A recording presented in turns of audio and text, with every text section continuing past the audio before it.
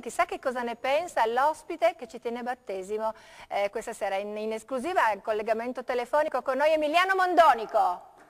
Buonasera, buonasera, buonasera a voi. Grazie Mondonico per essere qui con noi, ha avuto modo di seguire eh, sicuramente l'ultima parte del calcio d'inizio del nostro Beppe Gandolfo. Sì, sì, ho sentito tutto, Ale. ce n'è per tutti, meno ce male. Per tutti. Partiamo dagli arbitri, poi saliamo, arriviamo al toro?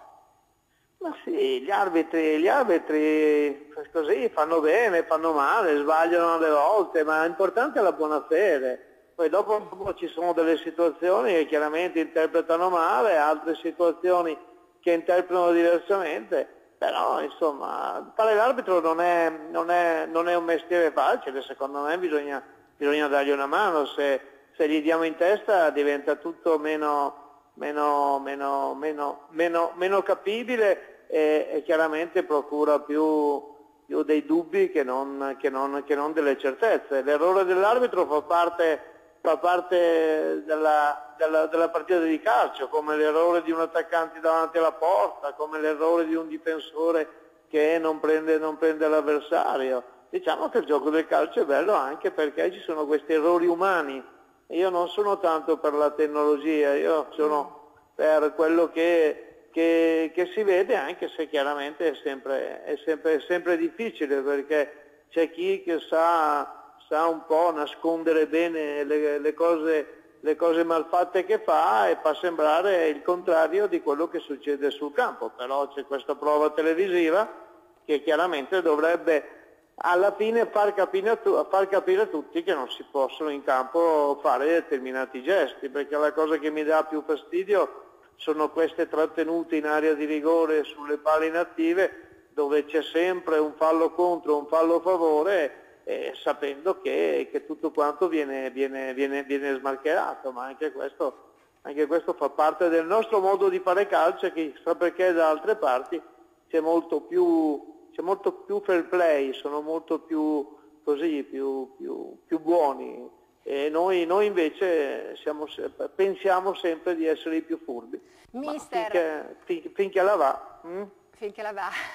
Mister, noi la terremo con noi tutta la sera ma non vogliamo rubarla alla famiglia. Eh, passiamo eh, a, a, parlare di Toro ma arriviamo poi anche ai mondiali, eh, quindi non possiamo quando abbiamo Mondonico in trasmissione non parlare del Toro. Diceva Beppe giustamente una bella stagione, peccato per l'Europa.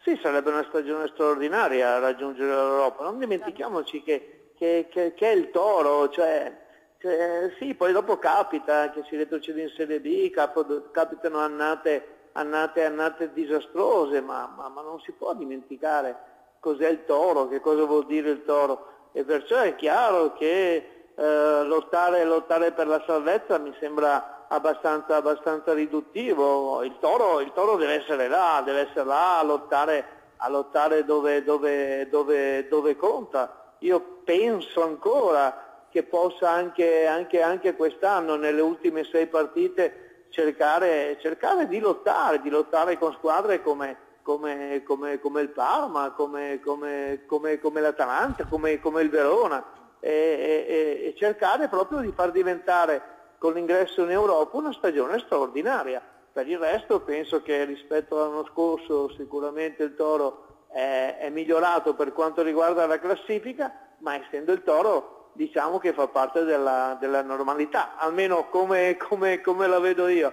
Poi dopo invece può darsi che sia tutto diverso, può darsi che il calcio sia cambiato e che il toro o anche il toro eh, lottando per, per, per salvarsi faccia, debba fare una stagione, una stagione straordinaria. Però io, usando, parlando del toro, direi che lo straordinario è la conquista dell'Europa. Eh, mister, c'è la nostra redazione che vuole ancora spremerla un pochino a partire da Giovanna Arballo. Buonasera mister. Saluto, saluto voi. Senta, invece parlando di mondiali, eh, convocazioni di oggi, Cerci, Immobile, Darmian, quindi continuiamo a parlare di Toro però riferito ai mondiali.